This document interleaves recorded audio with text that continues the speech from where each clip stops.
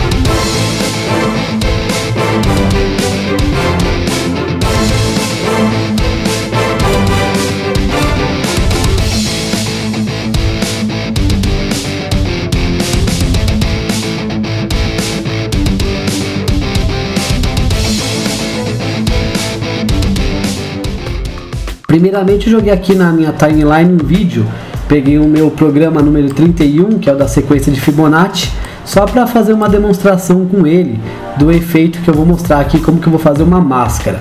Eu já deletei o áudio aqui, então como que eu deletei o áudio? Eu travei aqui a track de vídeo, cliquei no áudio e deletei, como eu expliquei em programas anteriores. Para eu aplicar um efeito em todo o vídeo, menos em um lugar ou só em um lugar específico, a gente vai ter que criar uma máscara. E primeiramente a gente vai ter que duplicar esse vídeo, então é só segurar aqui a tecla Alt, clicar nele e com direito aí arrastar para cima. Então se eu seguro a Alt, a tecla Alt, clico e arrasto para cima, eu duplico aqui o meu vídeo. Então eu tenho aqui dois vídeos, ó, são iguais os mesmos, ó. Então se eu tirar aqui a visualização de um ou de outro, ó, estão no mesmo tempo. E aí é o seguinte, eu vou criar uma nova máscara e tem que ser por título título, new title, default mesmo. Ok, eu tenho aqui já as pré-configurações, dou um ok. Eu mostrei como criar títulos, mas eu não falei para vocês que isso também serve para criar máscaras. A gente vai ver aqui no título que tem algumas ferramentas aqui embaixo, como por exemplo a caneta, onde eu posso fazer formas e fazer, enfim, preenchimentos e tudo mais. E eu tenho algumas outras ferramentas de deletar aqui, como essa de formas geométricas aqui, e tudo certinho. vou usar a de forma geométrica só para vocês verem. Ó. Vamos supor que eu queira aqui fazer uma máscara no meu rosto, que ele vai desfocar tudo, ou então, sei lá, vai deixar tudo preto e branco, menos meu rosto. Primeiramente eu vou ter que fazer essa máscara aqui, é só pegar uma forma geométrica e colocar aqui na região que eu quero proteger. Por isso que é bom sempre a agulha tá aqui no ponto certo do vídeo, quando você vai fazer a máscara para você visualizar melhor ele vai vir com uma cor meio acinzentada e não é uma cor boa para máscara. Então a gente vai vir aqui no color e vai deixar uma totalmente branco, ó. Ou você clica com o dado direito e arrasta até chegar aqui fora o cursor, ó. Ou digita o F, F, F, F, F, F aqui. Você pode ver que tem uma diferença da cor que estava acinzentada para branco puro que está agora. Então se eu der um OK, ó, a máscara ela vai ficar bem mais clara. Você pode desenhar a máscara com a caneta também, que funciona da mesma forma da caneta do Photoshop. Então vocês podem dar uma olhadinha na aula de Photoshop para aprender a usar a caneta, né? Enfim, tá aqui a minha área delimitada, seja com a caneta ou com as formas, você sempre vai ter que deixar ela branco. Feito isso, você fecha e a gente vai clicar aqui com o da direita e arrastar para a trilha de vídeo 3. A gente vai ver que, por exemplo, se eu quisesse que a máscara ficasse no vídeo todo, eu só arrastaria ela aqui, ó, e pronto, ó, agora ela tá durante o vídeo todo. Ou então outra forma é você clicar com o da direita, vem aqui Speed Duration ver qual que é o tempo total do vídeo lá, tem, sei lá, do, é, 13 minutos e 29 e 3, você digita aqui 13. Eu acho isso muito ruim, porque a turma profissionalmente ensina que você tem que fazer isso aqui, ó, 13, 29, 03, que é uma perda de tempo absurda, ó que dá na mesma ao trabalho que eu fiz quando eu podia simplesmente ter vindo aqui, esperado ele grudar automático e pronto, né? Então, nem sempre a forma acadêmica, profissional é a melhor. Vamos começar agora a aplicar essa máscara. Uh, eu vou deixar ela só durante um tempo aqui. Deixa eu ver aqui a parte do vídeo que eu quero que ela fique, ó. Ah, vamos lá, quero que ela dure daqui até o momento que eu tô. então aqui eu já mudei, então até aqui, ó. Que é o momento que eu tô desse lado. Então beleza, essa aqui é a duração da minha máscara, ó. Ok. Agora o que, que eu vou fazer? Clicar na camada de vídeo 2, que é uma duplicata da de baixo, mas tem que ser aqui tá em cima. Agora eu venho aqui em Effects, eu vou jogar isso aqui, ó. Eu vou digitar Track e eu vou jogar aqui Track Meter Key Vou jogar nessa camada 2. Aqui Key é onde tem o Chroma Key, é as partes recursos chaves, tá? Por exemplo, fazer Chroma Key que eu vou ensinar em aulas futuras, tudo vai estar tá nessa pasta Key que eu tenho ali. Então beleza, joguei o efeito nela, venho aqui, clico, vai aparecer aqui ó, Mate, tá nome, a gente vai colocar o que? Vídeo 3. Agora ele vai estabelecer um campo de definição de acordo com essa máscara que está conectada aqui no vídeo 3. E pronto, é só isso. Agora aqui embaixo eu posso jogar qualquer efeito que ele não vai ser aplicado no vídeo de cima nessa região delimitada. Então eu posso vir aqui, por exemplo, black, é, preto e branco, ó, black and white. E tá vendo? Tudo ficou preto e branco menos a parte que tá aquela máscara. Só que daí se vocês podem ver, deixa eu colocar outro aqui, ó, tirar o, o black white desse. Clear. Se eu quiser, por exemplo, o Gaussian Blur, Gaussian Blur aqui, ó. Desfoque gaussiano.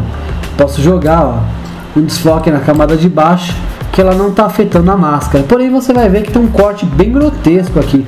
O que, que eu faço para amenizar esse corte? É só jogar um desfoque na máscara também, ó. Beleza? Cliquei na máscara, vem aqui desfoque, ó. Vocês podem ver que conforme mais eu der aqui, ó, desfoque, ó, mais a máscara tá ficando suave, ó. É assim que a gente faz então. Eu posso vir aqui, inclusive, na máscara, vir aqui motion, ó, fazer um tag aqui em position scale e aí quando eu tô aqui, por exemplo, ó, desse lado, a máscara, ó, tá torta, né? Então quando eu tô aqui, eu posso falar que eu quero que a minha máscara, ó, lá venha aqui eu aumento e diminui a escala, ó, o tamanho dela, ó. Então quando eu estiver desse lado, eu falo que ela vai em posição, ó, ela vai estar tá mais pro lado, ó. Eu ajusto aqui e aí você tem que fazer isso bem devagarzinho para a máscara sempre ir seguindo aqui seu rosto. Você vem aqui e ajusta um pouquinho, aqui, ó, no caso era um frame que eu tava lá do lado, então eu teria que jogar a máscara aqui, ó, do lado bem pra cá. Esse é o que dá trabalho, você fazendo esses ajustes, né? Mas o resultado ele fica bem bonito. O resultado ele fica bem interessante. Então qualquer efeito que eu aplicar aqui na máscara, eu só preciso aplicar o desfoque, o blur, para não ficar aquele corte grotesco. Já aqui embaixo eu posso, por exemplo, tirar aqui o efeito do Gaussian Blur e jogar aquele efeito de preto e branco, ó, black and white. Olha lá, já ficou bem suave. E quanto mais eu aumentar aqui o, o desfoque gaussiano da máscara, ó, mais suave essa transição vai ficar. E se eu diminuir, ela vai ficando mais aquele corte, né? Então aqui, ó, a transição fica mais suave e eu posso posicionar a máscara, ó, movimentar eu posso aumentar ou diminuir aqui, ó. ó a máscara tá aqui no cantinho, ó. Eu vou aqui e posiciono ela agora, ó. Vai ficar bem em cima do meu rosto, por exemplo, ó. E daí eu posso aumentar ela, ó. Ou diminuir. E assim por diante. O interessante é primeiro você posicionar a máscara, que você está enxergando ela melhor, e depois você aplica todos esses comandos aqui de posição tal, para ter uma melhor visualização. Então é isso, turma. Essa foi a aula de hoje ensinando a você criar um efeito a partir de uma máscara, que é essa máscara de proteção que eu fiz aqui. A gente pode desenhar máscaras usando a caneta, como eu falei. Título, novo título. Coloque sempre um nome, por exemplo, que dê alguma forma que tenha a ver com o seu projeto para você não esquecer. E aí você pega a caneta aqui, ó, e vai clicando, ó, clica aqui, segura e arrasta fazer uma curva, né? Então é assim que a gente usa a caneta, ó, você vai fazer essas curvas de ajustes. Então quer ver fazer uma forma qualquer aqui para vocês verem como que usa a caneta. Deixa eu pegar uma arelinha que tá preto aqui para vocês verem, ó. Cliquei com da direita, agora eu clico, seguro, ó, e arrasto para fazer a curva. Agora eu clico aqui, seguro e arrasto para ir mudando a curva, assim que a gente faz com a caneta. Seguro Alt e vou clicando para e fazendo tá mais ou menos como a do Photoshop. Precisa de um, um jeitinho aqui para você aprender a usar a caneta. fez a forma geométrica, a única diferença da máscara da caneta é que você vai ver que essa forma ela está aberta, ela deveria estar preenchida. Como que eu faço então para pintar aqui dentro? Pego o balde de tinta, então não, é, aqui está só o contorno. Eu queria que a caneta fosse uma forma, porque a forma que vai ser minha máscara. É só vir aqui em propriedades, onde está Closed Bezier Bezier é o nome dessa ferramenta aqui que faz essas curvas da caneta. Eu coloco Filled Bezier. Agora pronto, tem uma forma geométrica. Daí eu venho aqui na cor, coloco aqui o branco. Beleza, minha máscara está pronta. Só jogar ela aqui para a trilha que eu quero. Ó, venho aqui em Project. E é assim que eu personalizo uma máscara utilizando a caneta. Como eu já falei que a, a, aqui no tracking, eu joguei um tracking aqui, um track meter ele já fala que está de acordo com o vídeo 3, ó. Qualquer forma geométrica outra que eu jogar aqui, ó, ele já está considerando como uma máscara, ó, aqui, ó. A caneta que eu pus, ela já automaticamente nessa timeline já gera. Se eu jogar aqui para cima, ó, ela vira forma e não faz o efeito. Olha a diferença, ó. Aqui o vídeo ele vai ficar todo colorido, porque o preto e branco é o de baixo. Agora aqui ele vai considerar só essa área aqui colorida e o resto é meio que transparente, virar meio canal alfa aqui só revelando o que está embaixo. Se eu quiser, por exemplo, que essa camada aqui do vídeo seja outra coisa, ó, seleciono ela, só o vídeo 2, dou um Ctrl K e agora eu posso aqui ó, jogar que o Mate Alpha vai ser o vídeo 4, só nesse fragmento. Esse continua com o 3, esse continua com o 4. Agora é o contrário, ó. Se a máscara estiver no 3, ela é uma forma, se ela estiver no 4, que ela vai virar máscara de verdade, porque eu selecionei aqui, ó. Então, conforme eu for partindo o meu vídeo, ó, eu posso selecionar trilhas diferentes para fazer as máscaras. E aqui você, por exemplo, a máscara 4, Mate Alpha e assim vai. Então é isso, turma. Essa foi a aula de hoje. Espero que vocês tenham gostado e aprendido e que isso possa ser útil para vocês. Lembrando que qualquer dúvida, deixe aqui nos comentários que sempre responderemos a todos. Muito obrigado por tudo. A gente pede aquela ajuda ao canal, curtindo o vídeo, deixando o like, nos seguindo, compartilhando, interagindo nas redes sociais e se inscrevendo aqui no canal da Stack, a sua faculdade no YouTube. Então é isso aí e até a próxima. Fui! Pedimos sempre que deem aquela contribuição ao canal, se inscrevendo, curtindo o vídeo e deixando seu like. Procure na playlist pelos vídeos para você ver os conteúdos com maior organização e nos siga sempre nas redes sociais.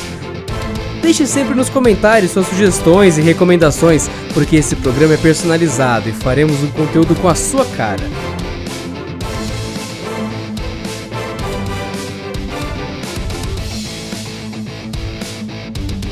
Canal Destec, o canal mais diversificado da internet.